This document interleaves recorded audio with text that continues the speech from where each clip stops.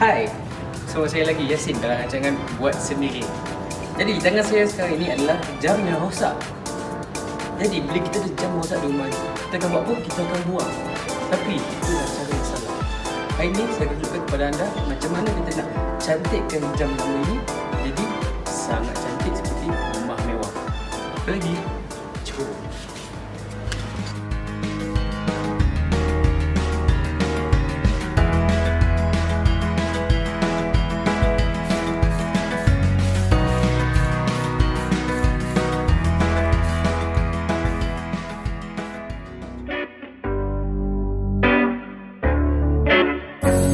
Tada! Ha, nampak tak lepas kita orang dah make over jam ni kita tengok.